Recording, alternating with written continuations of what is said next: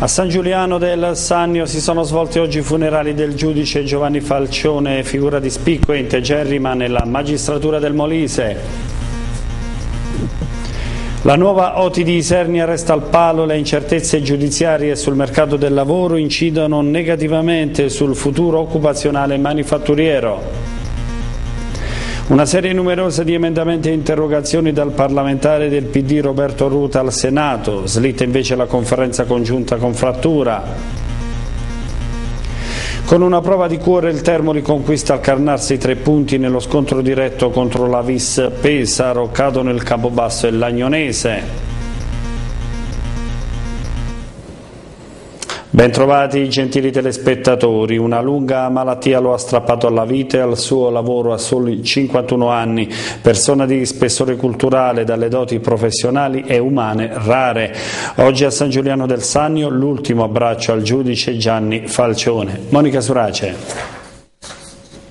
In tanti, tantissimi, questa mattina nella chiesa di San Nicola a San Giuliano del Sannio hanno voluto dare l'ultimo saluto a Gianni Falcione, il magistrato molisano venuto a mancare ieri. 51 anni da tempo ormai combatteva contro un brutto male, un male che alla fine ha vinto strappandolo alla vita e a quel lavoro che amava e che svolgeva con onestà e dedizione. Dopo una parentesi al Tribunale di Vasto era tornato in forza a quello di Campobasso e fino a qualche giorno fa era nelle aule del Palazzo di Giustizia. A San Giuliano proclamato il lutto cittadino, mentre oltre la madre, la sorella e tutti i parenti ed amici hanno partecipato alle esequie anche le autorità civili, politiche, religiose e militari, gli sguardi sulla bara coperta dalla sua toga. La morte di Gianni Falcione colpisce tutti quelli che hanno avuto l'onore di conoscerlo, la fortuna di averlo amico, le parole del presidente della regione Paolo di Laura Frattura. Gianni Gianni era una bella persona come poche in giro, lo è stato nella vita quotidiana e lo è stato come giudice, un magistrato giusto e serio, ne sentiremo tutti la mancanza. La morte di Gianni mi addolora sia come uomo delle istituzioni che come semplice cittadino, essendo lui e la sua famiglia proprio di San Giuliano del Sagno, il mio paese. L'intervento del presidente della provincia di Campobasso, Rosario De Matteis, lo ricordo come magistrato attento e scrupoloso, lontano dalle telecamere anche quando lavorava su inchieste di una certa risonanza, a Vasto come a Foggia, come a Campobasso, un uomo mite e sincero, una persona colta e per bene, di una profonda sensibilità giudice ma anche docente di certa preparazione e sano equilibrio, il ricordo del sindaco di Campobasso Antonio Battista. Dal furto alla detenzione di stupefacenti, dal falso alle violazioni in materia di norme di lavoro, i carabinieri del comando provinciale di Iserni hanno denunciato 14 persone complessivamente, tra essi un casertano di Colle Matese, titolare di una ditta boschiva che aveva presentato al comune di Montaquila una polizza fideiussoria falsa. A Monteroduni invece due quarantenni del posto sono stati denunciati per furto aggravato di energia elettrica dai contatori Enel. Infine per possesso di alcune dosi di cocaina sono stati segnalati altri due giovani consumatori sempre di Monte Roduni. Un disoccupato di 51 anni dovrà rispondere di spaccio di cocaina in una perquisizione effettuata nelle strade di Boiano. I carabinieri hanno rivenuto nascoste nella sua panda 11 dosi di stupefacente, 250 euro provento dell'attività illecita dello spaccio, sotto sequestro le dosi risorsi e il denaro. Il Presidente del Consiglio regionale Vincenzo Niro tira le somme del 2014, oggi a Palazzo Moffa il bilancio dell'attività dell'Assemblea.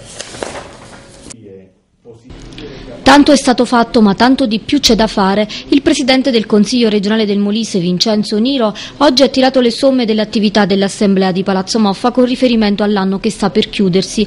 Prima però ha ricordato il giudice Gianni Falcione, scomparso ieri, il ricordo del valore dell'uomo e del magistrato.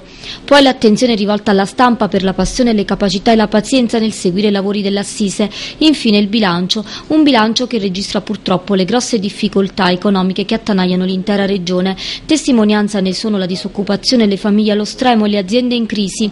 I disagi sono evidenti e si sono visti con la costante presenza di lavoratori e cittadini durante le singole sedute del Consiglio regionale. Ma si guarda avanti, ha ribadito il Presidente Niro, nonostante momenti bui e purtroppo a volte la cattiva politica. Non bisogna quindi lasciare spazio al pessimismo ma lottare forti del messaggio di speranza lanciato da Papa Francesco che in Molise ha portato una ventata di entusiasmo e di forza. I tempi restano comunque critici e serve tagliare gli sprechi, così come la Regione in questo anno ha fatto eliminando specifiche figure ed assorbendone le funzioni presso uffici preesistenti.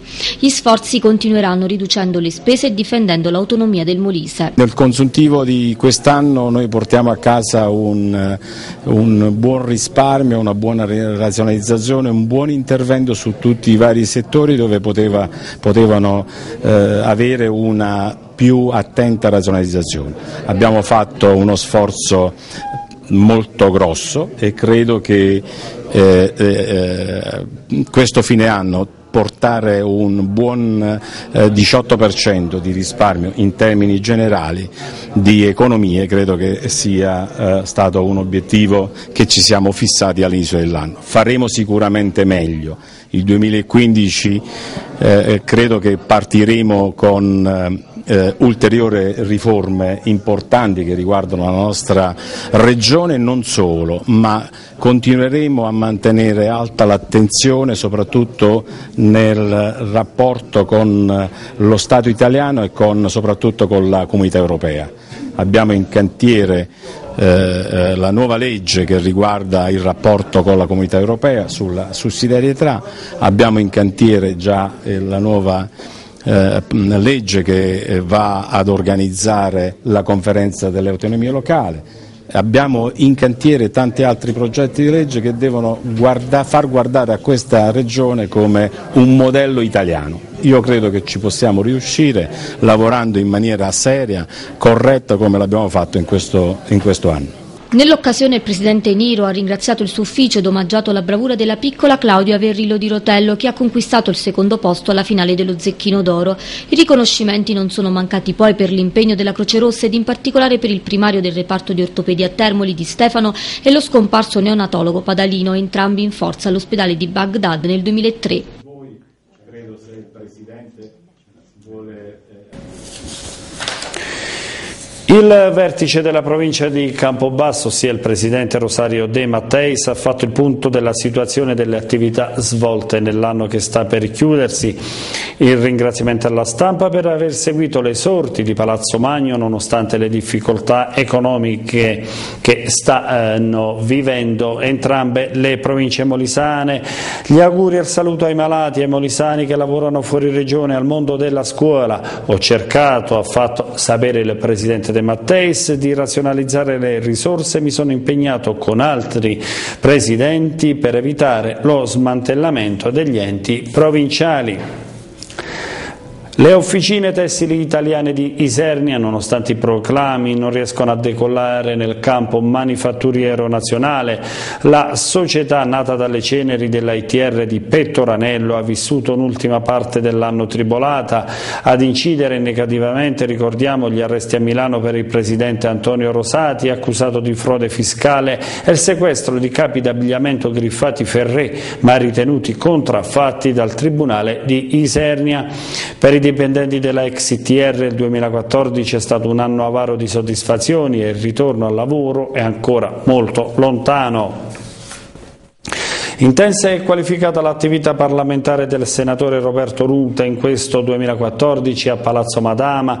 Come primo firmatario ha presentato al Governo nazionale ben 225 emendamenti. Il servizio è stata molto intensa l'attività istituzionale nella capitale del senatore Roberto Ruta, capogruppo della Commissione Agricoltura del Partito Democratico a Palazzo Madama, zootecnia, comparto ittico e rurale, attività a favore dei meno abbienti e molto altro ancora nei numerosi emendamenti e interrogazioni al governo del Premier Matteo Renzi in meno di 20 mesi di presenza tra gli scranni del Senato. Nel lavoro politico di Ruta anche 11 voti contrari alla linea del suo partito, voti definiti in gergo ribelli. Nel campo dell'agricoltura il parlamentare molisano è riuscito nell'intento di spostare il pagamento dell'IMU al 26 gennaio ma già nei prossimi giorni saranno avviate a Roma le discussioni sui nuovi criteri da seguire in materia. Il decreto legge competitività apre agli agricoltori l'accesso al credito e favorisce il ricambio generazionale. Inoltre, sempre nel settore, il Senato ha fatto propria la lotta al precariato attraverso una serie di misure contributive, in pratica uno sgravio di 8.000 euro per ogni azienda che riesce a trasformare a tempo indeterminato contratti di lavoro stagionali. Alle stesse imprese rurali verrà poi garantito, con un apposito emendamento alla legge di stabilità, il costo del lavoro dall'imponibile IRAP. L'Istituto Ismea, dai nuovi accordi parlamentari invece potrà aiutare gli agricoltori in anticipi di finanziamenti pubblici nell'ordine di tempo tra 30 e 45 giorni. Per la pesca invece il governo garantirà anche nel 2015 30 milioni di euro di cassa integrazione in deroga. Ruta si è impegnato a fornire sostegno al comparto ittico nazionale e acquacoltura e ancora nell'attività politica di quest'anno voluto ricordare gli 8 milioni al Fondo per indigenti al fine di garantire alimenti ad almeno 300.000 famiglie italiane in difficoltà e a un milione di bambini che nel Paese non hanno certezze di un pasto quotidiano. Sempre su questo tema il governo nazionale ha approvato un emendamento per portare sulle mense dei poveri prodotti ortofrutticoli non venduti nei mercati ma freschi di giornata altrimenti destinati al deperimento. Infine, ma non meno importanti sono gli emendamenti che garantiranno anche in futuro al Molise, come al resto delle altre realtà regionali, almeno la presenza di due senatori in Parlamento. Per il Corpo Forestale dello Stato ci sarà piena operatività e la richiesta di nuove competenze con funzioni di polizia provinciale. In ultimo Roberto Ruto ha voluto ricordare alla stampa le battaglie vinte sul taglio ai patronati e sul fondo per l'Unione Ciechi. Sono circa 3.600 in Italia i malati di sclerosi laterale amiotrofica, malattia neurodegenerativa che porta alla morte cellulare. Quest contro questa gravissima patologia gli studiosi dell'Istituto Neuromed di Pozzilli aprono una nuova strada alla medicina terapeutica. Una ricerca scientifica evidenzia le possibilità offerte da molecole che agiscono su determinati recettori delle cellule del sistema nervoso centrale e del del midollo spinale. Il dottor Antimo Aiello è stato nominato membro del Comitato Nazionale di Diabete Italia. La nomina quadriennale è un riconoscimento importante per il professionista e anche per l'intera unità di diabetologia all'ospedale Cardarelli del capoluogo. Tredicesima mensilità in ritardo per i dipendenti della sanità pubblica, le incertezze derivanti dal piano di rientro del debito accumulato dall'ente regione si stanno ripercuotendo sul personale medico e infermieristico. Ricordiamo come il debito sanitario del Molise si avvicina ai 400 milioni di euro. Fra un mese esatto alla Mare Pronto di Termoli, azienda legata al gruppo Arena, termineranno gli ammortizzatori sociali. Finisce nel peggiore dei modi l'esperienza occupazionale per 81 unità. Per noi Emiliano Verazzelli. Sono 81 i dipendenti dell'ex Arena Mare Pronto di Termoli ad essere finiti nelle liste di mobilità L'azienda termolese specializzata in prodotti ittici surgelati, che fa capo all'omonima azienda matesina, aveva da qualche tempo cambiato la propria denominazione in FIS, Fabbrica Italiana Surgelati, ma dopo gli infiniti problemi economici delle scorse annate, la FIS non è riuscita a trovare nessuna strada per poter riprendere a pieno regime la propria attività. Così tra qualche settimana per i dipendenti scadrà anche la cassa integrazione straordinaria che era stata decisa a febbraio 2014 terminerà precisamente il 22 di gennaio del nuovo anno, per gli 81 dipendenti non ci sarà più alternativa se non quella della mobilità. Un esito prevedibile che era già nell'aria, diverse erano state le manifestazioni dei lavoratori davanti ai cancelli dell'azienda, si erano trovate soluzioni solo provvisorie, prima con la cassa integrazione a rotazione per una parte dei dipendenti, poi quella straordinaria per un anno intero grazie all'attività delle organizzazioni sindacali, della RSU, dell'Associazione Industriale del Molise e dell'assessorato regionale al lavoro. Fai CISL e Fly CGL in prima linea erano ottimisti sulle soluzioni future, ma in seguito seguito nessun gruppo internazionale ha rilevato l'attività come ci si aspettava nei mesi precedenti. Finisce così nel peggiore dei modi una situazione già critica di un settore produttivo tra i più importanti del territorio bassomolisano. A parere del sindacato Scuola Gilda, il ministro dell'istruzione Giannini si dichiara disponibile a fare marcia indietro rispetto all'abolizione degli scatti d'anzianità, scatti previsti nel piano nazionale della buona scuola. L'attenzione della Gilda sarà adesso quella di pressare il governo Renzi affinché mantenga l'anzianità di servizio nella progressione della carriera dei docenti. Siamo agli spettacoli, si è svolto nella serata di oggi nella chiesa madre di Guglionesi il tradizionale concerto natalizio, sul parco l'orchestra De Sanctis. Tutti i brani sono stati arrangiati dai maestri Gianluca D'Elena, Loris Fiore, Fernando Nese e Evan Spilotro. Una tale de Mammucci è lo spettacolo della serata al Teatro Savoia di Campobasso per la regia di Patrizia Civerra. L'intero incasso della commedia in vernacolo sarà devoluto all'associazione Moli Rari del capoluogo che da tempo si occupa dell'assistenza ai malati di sclerosi. Ed adesso passiamo come ogni giorno al meteo.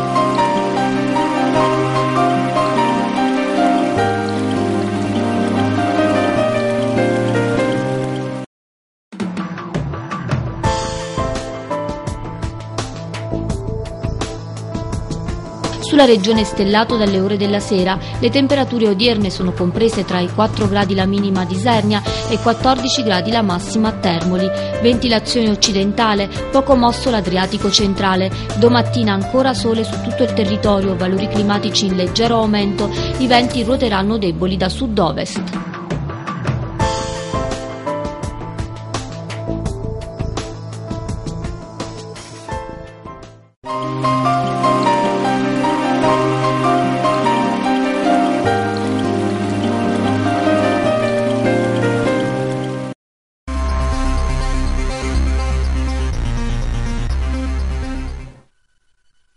Nel calcio di Serie D la Maceratese mantiene la vetta del girone F, immutato il quadro anche nell'eccellenza molisana, vediamo i risultati delle classifiche dell'ultimo turno di campionato di questo 2014.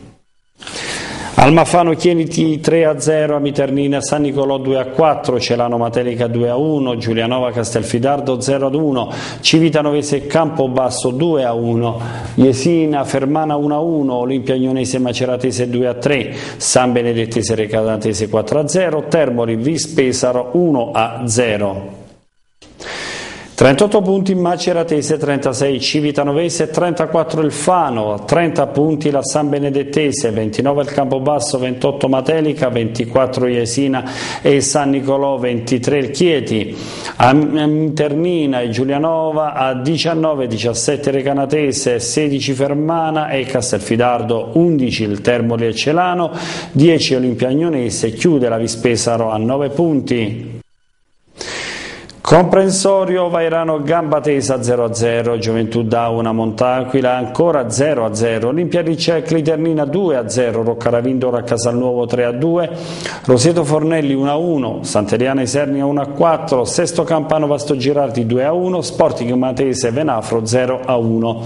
Vediamo quindi la classifica, in testa sempre la Gioventù Dauna a 39 punti, 38 Isernia, 32 Vasto Girardi, 28 Roccaravindola e Sesto Campano, 24 il comprensorio Vairano, 23 Venafro, 22 Gambatese Sporting Matese, 21 il Riccia, 15 Montaquila, 12 Casalnuovo e Fornelli, 9 punti Cliternina e Sant'Eliana, chiude il Roseto a 5.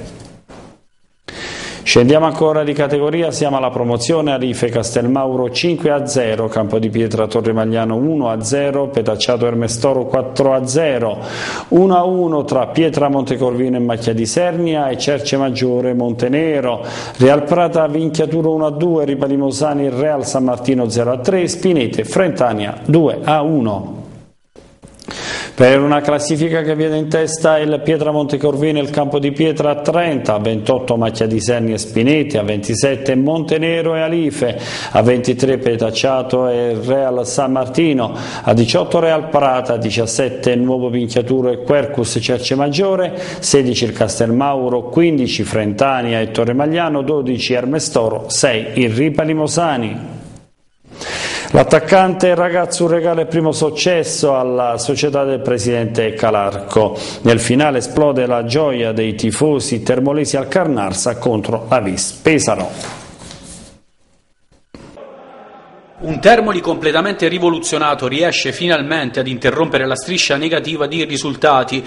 In settimane i nuovi acquisti della dirigenza Calarco hanno riportato entusiasmo nell'ambiente giallo-rosso proprio prima della sosta natalizia. Al Cannarsa arriva una delle dirette concorrenti nella lotta salvezza, la Vis Pesaro di mister Bonvini, che si affida alla coppia d'attacco Evacuo degli Iulis. Termoli per 9 undicesimi rivoluzionato con gli innesti di Di Matera e Felici in attacco insieme a Santoro, in difesa il gradito ritorno in giallorosso di Giuliano Falco, solo panchina per il colpo dell'ultima ora Mauro Ragazzu. L'arbitro del match, il signor Guida di Salerno, che avrà il suo bel da fare in tutti e 90 i minuti. Il match si apre subito con le due squadre che aggiustano il tiro dopo appena 8 secondi. La conclusione di Felici per il Termoli. Risponde la Vispesaro con evacuo, il suo sinistro termina sull'esterno della rete. Il Termoli sembra più incisivo. Al settimo, il cross dalla destra di Di Matera. A centro area è tutto solo Felici che però non riesce a dare forza all'inzuccata di testa, ci arriva con qualche affanno Teodorani il match rallenta, ma è ancora il Termoli pericoloso al ventinovesimo, ancora con il colpo di testa di Felici sul tiro di Romano, che non inquadra però lo specchio della porta. Un minuto dopo uno scatenato di Matera si accentra dalla sinistra, ma il suo rasoterra è troppo debole, nessun problema per Teodorani. A soli tre dal termine della prima frazione il match cambia improvvisamente. Sulla destra Russi ed Evacuo fanno a sportellate. Ad avere la peggio è il giallorosso Russi che rimane a terra. Dopo qualche secondo di consultazione con il suo assistente guida estrae il rosso diretto prima per Evacuo e poi anche per l'incredulo Russi. Le due squadre restano in 10, così si chiude il primo tempo. Seconda frazione di gioco che si apre subito con un cambio tra gli ospiti. Filippucci prende il posto di uno spento Torelli. Il match però si spegne completamente per 21 minuti quando Di Matera ha una buona occasione su calcio piazzato dal limite. La sua conclusione a giro finisce di poco a lato. Tre minuti dopo il Termoli rischia di capitolare sul colpo di testa di Filippucci, risponde distinto Marconato che salva il Termoli insieme a Cremona che è reattiva ad allontanare la minaccia. La Vis Pesaro prende il sopravvento sul Termoli, all'ottantesimo la punizione di Bugaro scheggia la parte alta della traversa. Ma due minuti dopo arriva la svolta, Casu manda dentro la mischia anche Ragazzo al posto di Romano. All'84esimo la Vis resta addirittura in 9 dopo un fallo del numero 1 Teodorani, fallo non cattivo ma le proteste del portiere costano il rosso diretto e l'ingresso del secondo Francolini che va a prendere posto tra i pali ma all'87 arriva la beffa per gli ospiti. Di Matera tenta il jolly con Francolini fuori posizione. Il suo tiro impatta la traversa sulla ribattuta e l'esto ragazzo che da posizione ravvicinata insacca di testa. Esplode il Gino Cannarsa per il vantaggio giallo-rosso che vale i tre punti ed una vittoria quanto mai sofferta. Finalmente il Termoli può rialzare la testa ed iniziare a crederci.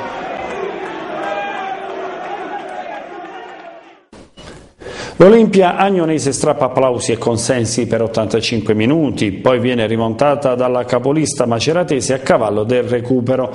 Campionato stregato per i Granata.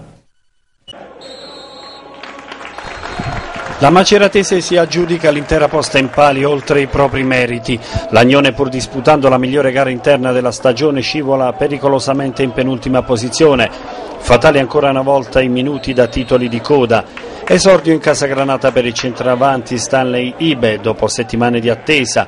Il nigeriano reduce dal campionato rumeno è schierato al fianco di Cantoro per far breccia nella retroguardia dei biancorossi di Giuseppe Maggi nell'ultima partita dell'anno solare. L'Olimpia non si fa intimorire dagli avversari nonostante i 25 punti di differenza. Ibe si libera al tiro dopo quattro giri di lancette da posizione molto defilata. Sul prosieguo dell'azione siluro di Cantoro che per poco non inquadra il bersaglio grosso. Donatelli sceglie tra i pali il 96 Vescio, 4-4-2 per i Molisani in completo bianco, una mediana grintosa formata da Ricamato e di Lulo centrali sulle corsie Saltarin e Carpentino. Tridente offensivo per i marchigiani, D'Antoni al centro supportato dalle frecce Couca a destra e Marini a sinistra, dirige il barese Carella. Al quarto d'ora si vede la Maceratese, pericolo in area granata, Romano al volo per D'Antoni, palla alta di un niente sulla traversa di Vescio. La capolista gioca a memoria e mette in difficoltà i padroni di casa con verticalizzazioni veloci e precise. Gli ospiti salgono in cattedra e si rendono minacciosi attorno al ventunesimo in due occasioni. Nella prima Vescio è graziato dal colpo di testa da ottima posizione di D'Antoni. Meno di 60 secondi dopo Maresca in diagonale chiude la porta ancora ad Antoni, servito a centro area dall'asse Croce Couco. La squadra di Maggi rompe gli argini a metà tempo, imbeccato dal solito Croce, dal corner Ferri anticipa tutti e gonfia la rete con una precisa inzuccata. Cantoro fa tornare i brividi sulla schiena dei tifosi biancorossi in gradinata. Sul mancino a girare Saitta e Lesto in due tempi ad abbrancare la sfera. L'Agnone perde Carpentino dopo appena 38 minuti. Donatelli inserisce nella mischia il pari età Lisi. Maggi nella ripresa inverte gli esterni d'attacco Couco e Ferri. Prima conclusione al secondo minuto sul destro dell'imprendibile punta di colore. Con qualche affanno si deve distendere l'estremo di casa Vescio. I biancorossi lasciano il fianco sinistro scoperto. Saltarin premia il traversone sul secondo palo di Pifano e pareggia le ostilità. Immobile sul piattone il portiere Saitta. Sulle ali dell'entusiasmo premono i molisani, per vie centrali Cantoro ha ricamato, Saitta questa volta è attento alla staffilata. I marchigiani sembrano alle corde, locali precisi nelle chiusure, pungenti nel far ripartire le azioni sulle torri Ibe e Cantoro. Dopo lo sbandamento iniziale riprendono a macinale gioco i biancorossi. Ferri a centro area per Couco, sponda all'indietro e Vescio compie il miracolo, ma il gioco è interrotto dal fischietto barese per una irregolarità degli ospiti. L'Olimpia non molla la presa e si rende di nuovo pericolosa dalle parti di Saitta. Doppio colpo di testa di Ibe e Saltarin, rete esplorata di un niente. Maggi si affida a Bartolini per Romano negli ultimi 15 minuti di una partita intensa ed inaspettatamente equilibrata al 32esimo quello che non ti aspetti intuizioni di Ibe per ricamato che si districa in area in fila di precisione per la seconda volta Saitta sul palo più lontano il Civitelle una bolgia. La capolista riversa in massa nella metacampo agnonese. De Grazia affonda a destra e pennella per Couco che infila di testa la porta di Vescio. Carella annulla per fallo dello stesso numero 11 sui difensori di casa Punizione generosa assegnata da Carella agli ospiti, destro tagliato di Belcaid, Bartolini è lesto a mettere il piede, l'ultimo tocco è di Natalini nella sua porta nel tentativo in extremis di evitare la rete, 2 a 2 a due giri di lancette, ma le emozioni non terminano qui. Croce spalle alla porta e colpito da Tergo alle caviglie nel tentativo di rilancio della difesa. Carella penalizza ulteriormente Granata segnando contro un calcio di rigore ad un solo minuto dal termine dei 5 di recupero. Couco è implacabile e trasforma per il successo della capolista. Una punizione troppo pesante per un Agnone in grado di sfiancare gli ospiti per lunghi tratti della contesa come però spesso è successo in questo torneo, errori tecnici e cali di tensione affondano in classifica i ragazzi di Donatelli nei minuti conclusivi. Il capobasso cade per la terza volta in questo torneo di Serie D. Fatali le due punizioni di Degano nel finale della prima frazione. Inutile la rete di Simone Viani. Il servizio. Il 2014 della Civitanovese riserva un finale pirotecnico. Al polisportivo arriva il blasonato Campobasso per uno scontro fra titani di capitale importanza, sia per la classifica sia per il morale delle due contendenti. Rossoblù all'inseguimento della capolista maceratese, distante appena due lunghezze. I ragazzi di Meco Monaco vanno a caccia dei tre punti per continuare il braccio di ferro con i cugini biancorossi. Il Campobasso staziona al quarto posto, a meno 6 dalla vetta. I lupi molisani cercano una perla esterna che possa accorciare le distanze dal duo di testa e impreziosire un girone d'andata fin qui troppo altalenante. Splendida la cornice di pubblico sugli spalti, come non si vedeva da tempo immemore al polisportivo. Tantissimi i supporters giunti dal Molise con pullman e auto private. Si respira l'atmosfera delle partite decisive. Civitanovese con Pintori e Degano a sostenere Bomber Amodeo. In mediana spazio a Margarita che affianca Benzaia e l'ultimo arrivato Bigoni. Confermata la linea difensiva a 4 con Ficola e Mioni terzini, Aquino e Cossu, coppia centrale davanti a Silvestri. Basta leggere la formazione iniziale del Campobasso per comprendere la potenza dell'organico a disposizione di Mister Farina, che si concede il lusso di tenere in panca giocatori del calibro di Miani, Lazzarini e Vitone, prelevato di recente dal Materica. Ospiti con l'ariete di Gennaro al centro dell'attacco, sostenuto da due ali sguscianti come Giovannisci e Todino. Centrocampo a tre con muscoli e qualità, guidato dall'ex fermano Marinucci Palermo. In difesa poche novità con Capitan Minadeo e Lander Bosco centrali, Fusaro e Scudieri terzini davanti al giovane portiere Conti, classe 96. Dirige Palermo della sezione di Bari di fronte a circa 1500 spettatori. Parte con decisione il Campobasso che tiene in pugno il centrocampo con autorevolezza e una maggiore reattività sulle seconde palle. All'ottavo azione avvolgente degli ospiti. Giovannisci riceve palla sul fronte destro, si accentra e carica il sinistro sul palo lungo. Silvestri è battuto ma viene salvato dal montante. Civitanovese timorosa e capace di replicare solo con lanci lunghi dalle retrovie. Al quattordicesimo Aquino pesca Margarita in profondità, posizione regolare per il numero 7 Civitanovese che manca l'aggancio decisivo sull'uscita di Conti e nell'occasione accusa un risentimento muscolare che lo costringerà a lasciare il campo pochi minuti dopo per Forgione. Ci prova ancora la Civitanovese su palla inattiva. Al diciassettesimo angolo velenoso di Degano dalla sinistra. Conti smanaccia sul fondo con affanno. Poche idee e poco movimento senza palla per i padroni di casa. Degano è costretto ad abbassarsi per godere di qualche pallone giocabile e ricucire le distanze fra centrocampo e trio avanzato. Dopo un avvio frizzante il campobasso perde intraprendenza e si limita ad un possesso palla puramente conservativo.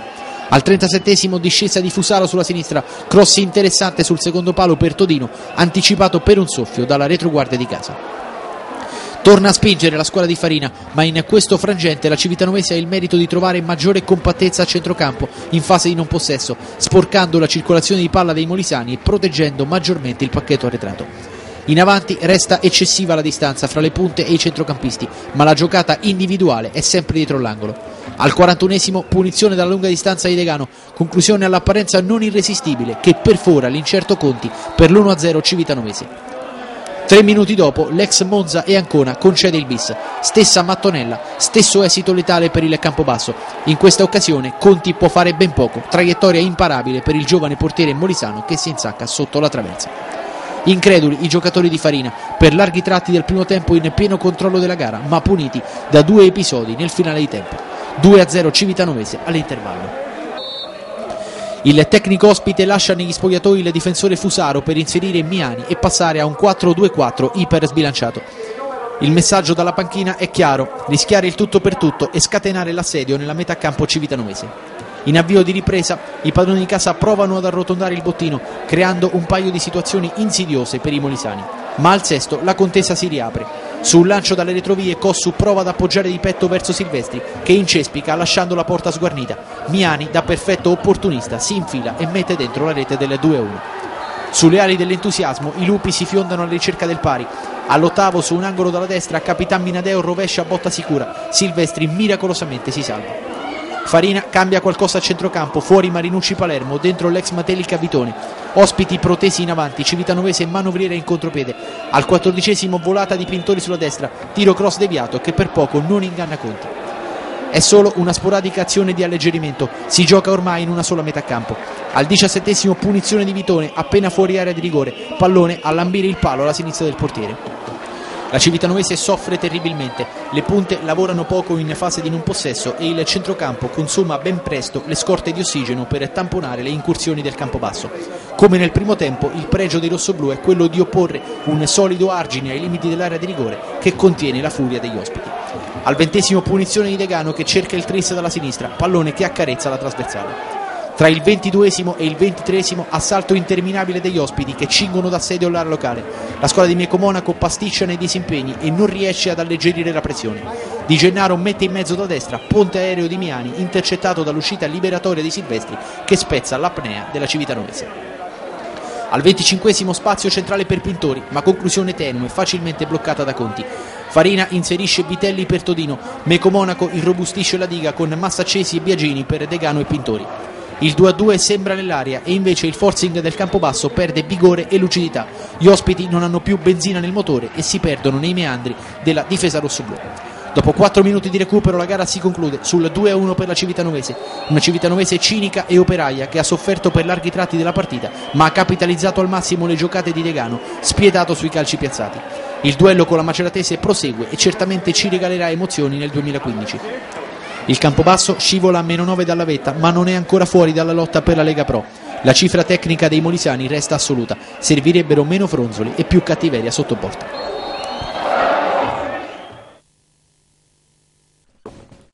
E chiudiamo con l'atletica leggera, sono stati poco più di mille gli atleti giunti al traguardo della sedicesima edizione della maratona di Pisa. Alle spalle del podista di colore Triar Abdelnadi è giunto secondo il molisano Ivan Di Mario con il tempo di 2 ore e 23 minuti. Come detto è la nostra ultima notizia, grazie per la visione e per l'ascolto, arrivederci.